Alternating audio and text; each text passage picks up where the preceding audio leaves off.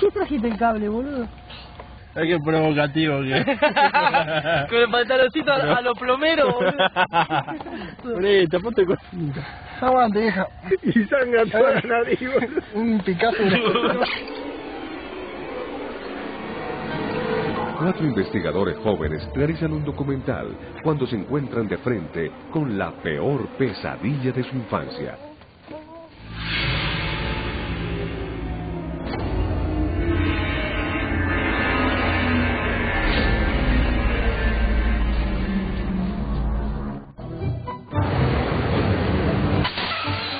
Buenos Aires, Argentina. Un grupo de investigadores independientes de lo sobrenatural, adscrito a la red de los nuevos radicales, realiza un video que sería publicado en su sitio web. Ellos investigan la macabra historia del brutal asesinato de la familia Bermúdez años atrás.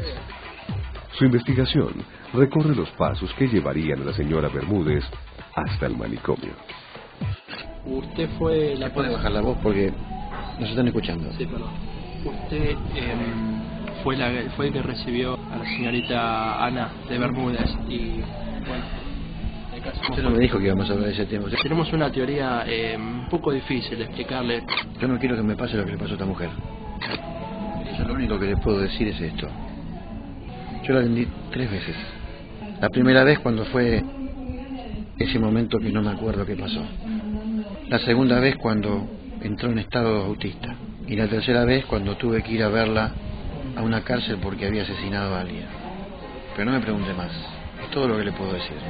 Aparte, si usted dice que yo le informé esto, lo voy a negar. ¿Cuál será el misterio detrás del brutal asesinato? ¿Por qué los medios niegan la verdad de los hechos?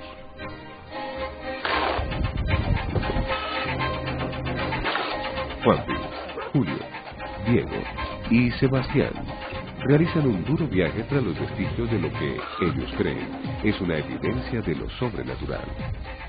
Financiada con sus propios recursos, realizan una investigación que busca demostrar que los acontecimientos obedecen a hechos sobrenaturales relacionados a una leyenda lugareña, la leyenda del duende de la siesta.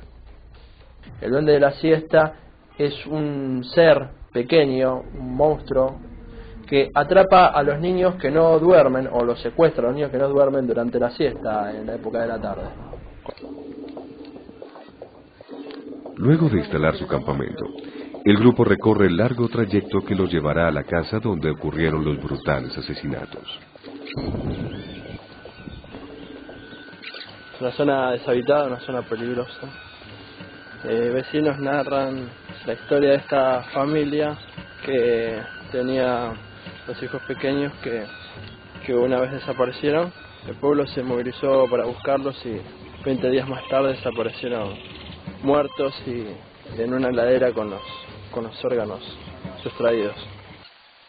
Ellos realizan un reconocimiento exhaustivo del terreno y preparan el plan para lo que ellos creen será un encuentro cercano con el fenómeno que inspira esta leyenda. ¿Vamos a entrar? Que las, las instalaciones son muy precarias. A ver, vamos a dar la vuelta, que es lo donde está Sebastián. Vengan acá.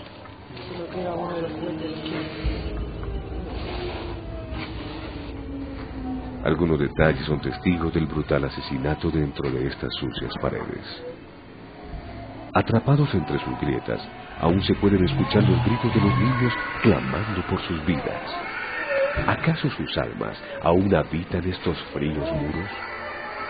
¿Cómo pudo un padre amoroso matar a sus propios hijos? ¿Acaso encontrar a los niños muertos y con sus vísceras por fuera enloqueció a su madre y causó el suicidio de su padre? Ahí está. Ellos se dirigen al pueblo en busca de nuevas evidencias. Han muerto gente ahí, ¿vio? Sí, con respecto al chupacabra, creería que existen. A nosotros se nos murieron 13 vacas. Esta apartada provincia registra uno de los índices más altos en lo que a mutilaciones de ganado concierne. Eh, objetos luminosos, en el campo, luces buenas, no, no son luces malas. Que era una luz eh, en forma de rombo. Y uno, claro, al no, al no tener conocimiento de lo que es, tiene un poco de, de temor, ¿no? Puede tener algún problema con alguno que lo pueda atajar en la casa. Ya son normales para los lugareños las apariciones de platillos voladores, vinculadas a extraños seres que los acechan en la noche. Vinimos a investigar lo de la casa de allá enfrente. estamos por acá, queremos hacer una pregunta. ¿Podemos? No, ¿por qué no? La vez pasada, por ejemplo, vino mi sobrino con su novia a visitarme. Y bueno, de repente estábamos tomando unos mates ahí y apareció un, algo así en la oscuridad, como una cabeza media rara. No pudimos cantar algo. Creo que algo firmó, no sé. Él tenía una firmadora y... Como... Me está diciendo que hay una filmación este, sobre ese, ese ser. Este video aficionado podría demostrar la existencia de una entidad extraterrestre en la zona.